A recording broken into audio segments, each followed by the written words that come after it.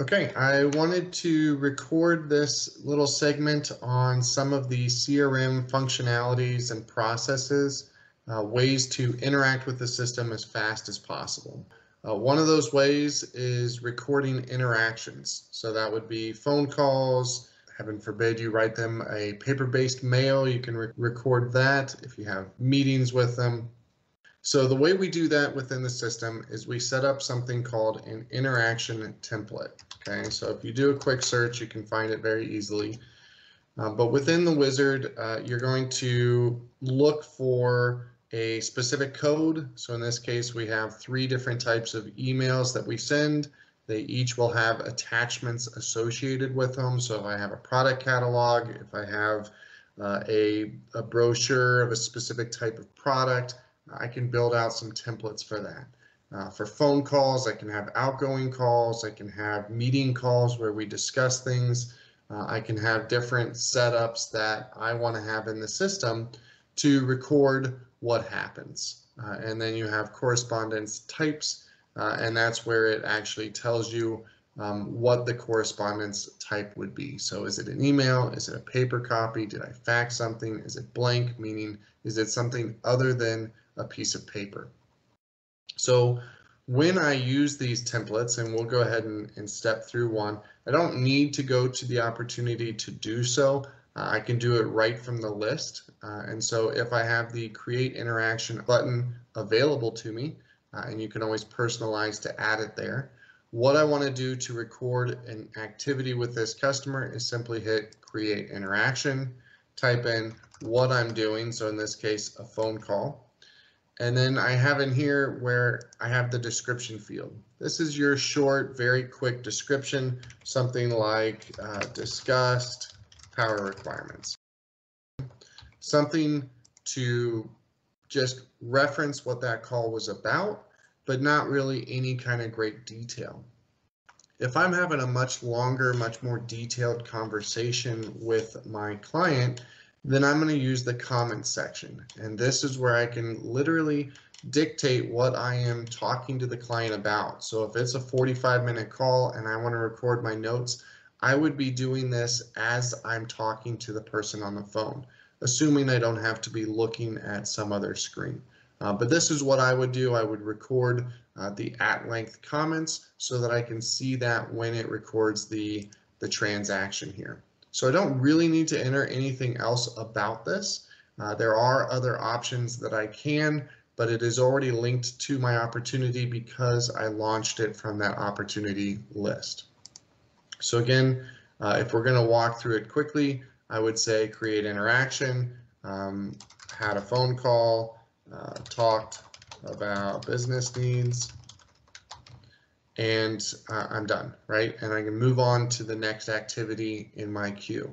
Uh, I can also do the same thing with emails. So if I create an interaction and I type in that it's an email uh, and whatever it's about, so let's say it's a draft um, of something, then I can record that. What the system will do is track that we need to send an email and it will give you dates and time about that. But what's important about it is what the system is going to do. So when you hit OK, it's going to ask you, do you want to export the attachment to view it? Uh, or do you want to just send it? So if I say no, then it builds up the email, attaches my uh, attachment to it, and then it will pull in an email body template, but I could also write a custom message if I wanted to fill it in myself. So those are just interaction opportunities that I can do and ways to interact with my, my opportunities within the system using that interaction and building up that interaction log of what I've uh, communicated to that client for.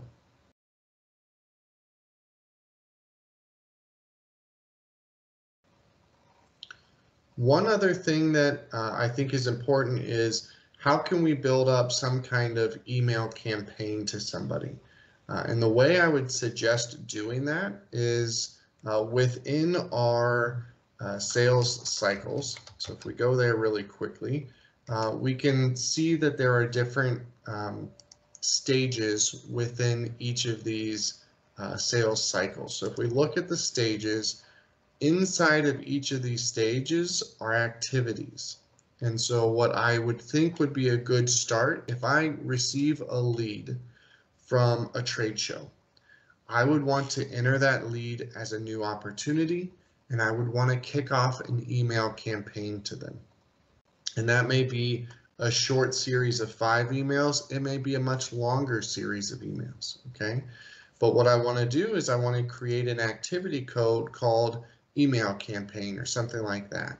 And what happens inside of this, if, uh, if we go and look at the uh, actual uh, activities within it, these are tasks, okay? And I can set up some tasks that would be email style tasks. And so if I had five uh, emails pre-built ready to go, then I could set up a date formula that says, okay, send this one as soon as I kick off that first uh, opportunity stage.